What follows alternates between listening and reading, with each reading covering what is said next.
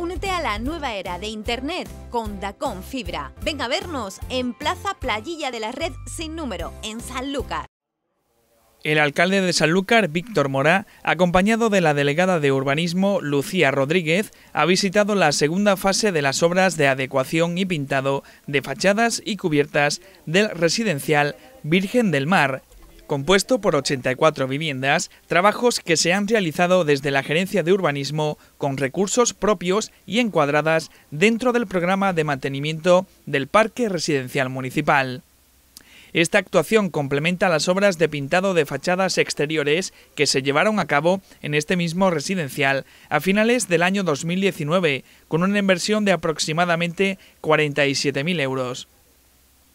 En esta segunda fase, que acaba de finalizarse, se han terminado de pintar el resto de fachadas interiores, pretiles y castilletes de cubiertas sobre los que no se había actuado en una primera intervención.